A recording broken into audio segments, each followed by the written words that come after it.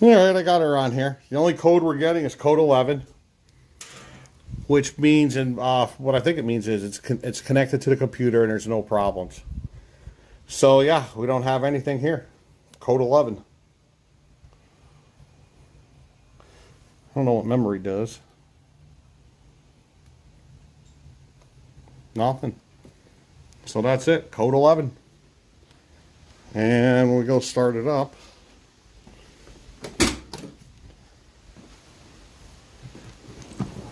All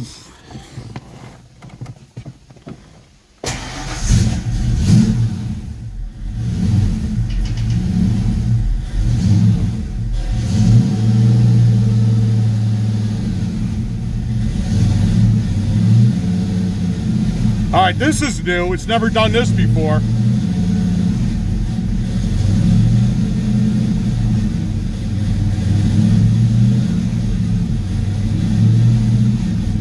That's not me on the gas pedal. That's the car doing it on its own. I'm gonna hit the gas now.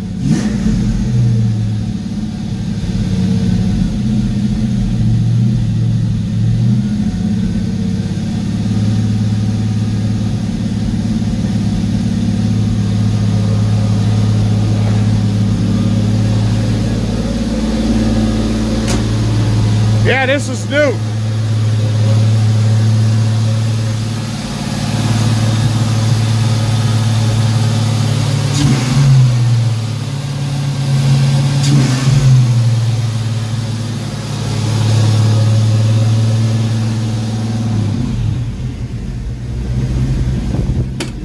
Yeah, it stopped on its own.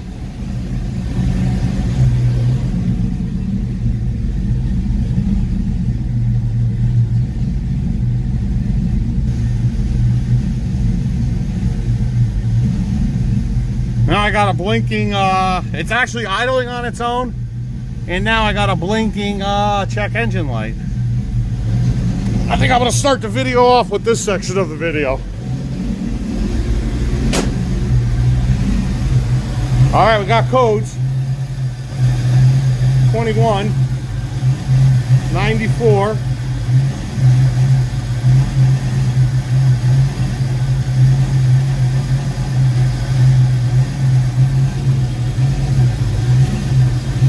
Forty-four.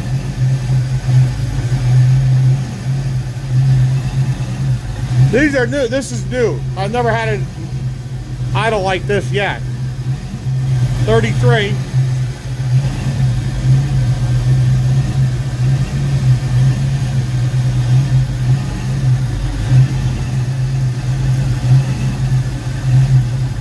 Eighteen.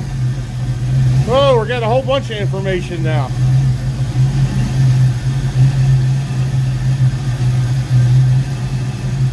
Anything else? Hey, it's idling on its own now.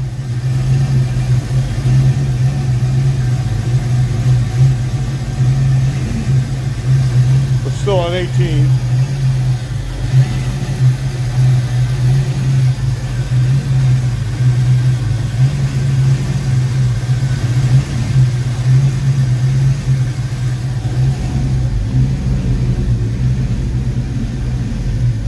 Still got a flashing check engine light.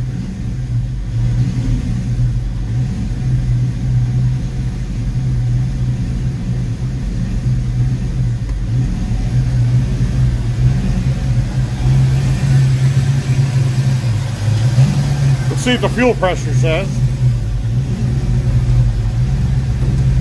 Oh yeah, we're good. Yeah, it's the first time it's idled on its own in a couple weeks.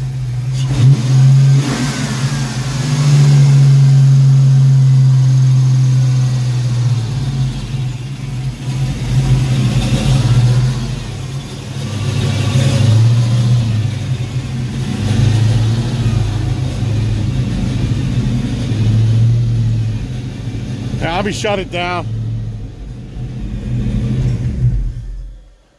Okay, there we go. So now I got a bunch of stuff to uh, to look up.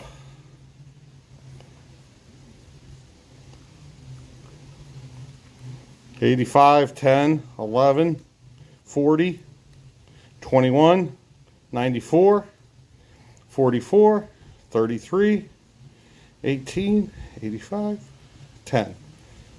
Do it one more time.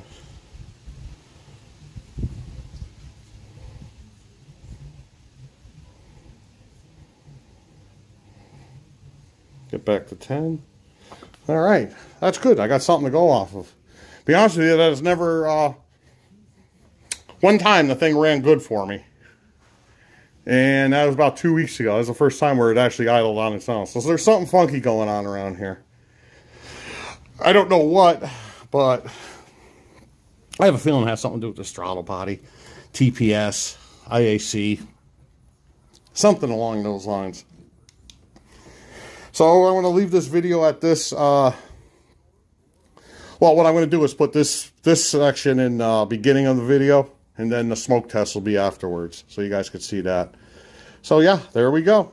Um, yeah, thanks for the help, everyone. I really appreciate it. Hopefully this helps someone help me. And uh, ah, I'm indebted for life after that. All right, thank you guys for your help. I really appreciate it. Bye-bye. All right, guys, I'm back here. Appreciate all the help I've been getting. Thank you very much. Uh, it's really helping. Uh, let's see, we got the smoke machine hooked up. Um, we're going to start off with that. Um, now you can see we're getting smoke.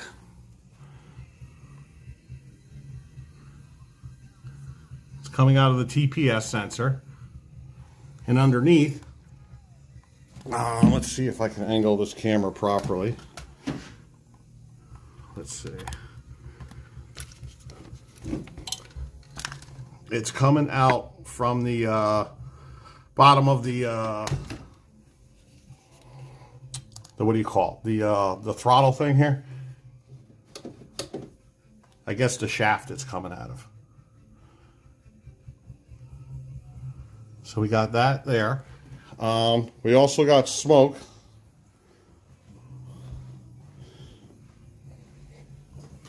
Coming out of the EGR.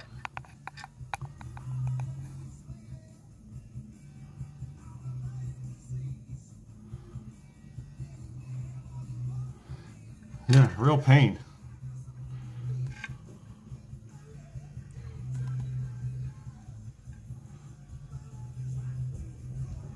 Nowhere else. Just those uh, three spots. One that doesn't have a smoke machine. I got this on Amazon. Works pretty good. It was like a hundred bucks. Yeah, not bad at all. Hmm. Comes with everything you need, even the smoke fluid. Plugs into the battery. You got an on and off switch right here and compressed air. Even if you don't have an air compressor, you could just get a uh, small, uh, you ever seen those little portable air tanks? Go to a gas station, fill it up and uh, with air, and there you go. You could just connect onto one of those.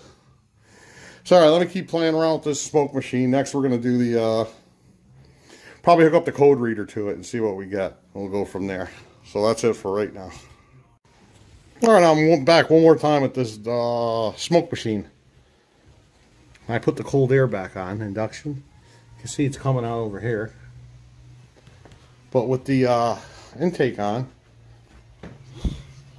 I don't seem to be getting any leaks. Besides what's over here.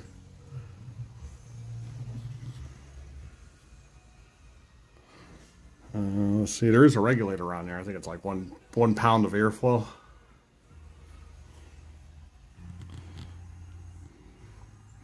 Yeah, so it's kind of like inconclusive now. Alright, I figured I would just throw that on there. And then here goes the EGR vacuum port right here. That goes from there to the block down here.